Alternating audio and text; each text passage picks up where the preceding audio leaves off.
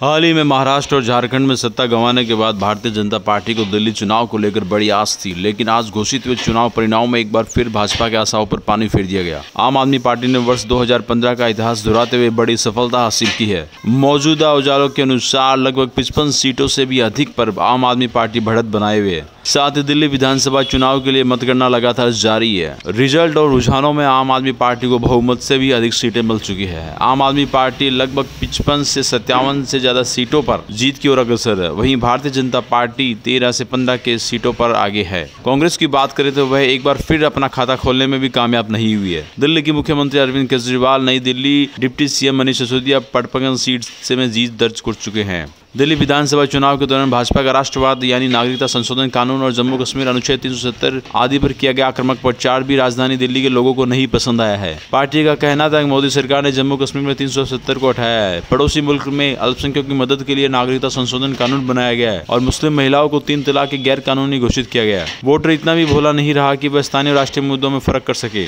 दिल्ली में रहने वाले वोटरों के लिए पानी, बिजली, शिक्षा, चिकित्सा जैसे मुद्दे ज़्यादा अहमियत रखते हैं।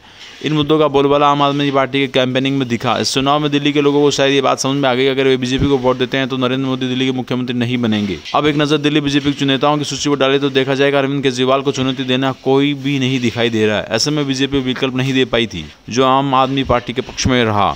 दिल्ली विधानसभा चुनाव प्रचार के दौरान भारतीय जनता पार्टी का आक्रमक प्रचार, देश की खराब अर्थव्यवस्था, दिल्ली के वोटरों ने नकार दी है। भारतीय जनता पार्टी के संकल्प पत्र में कई लोग लुभावने वादे किए गए थे, लेकिन चुनाव प्रचार के दौरान विपक्षी पार्टियों पर किए गए हमले बेहद ही नकारात्मक चरित्र के रहे।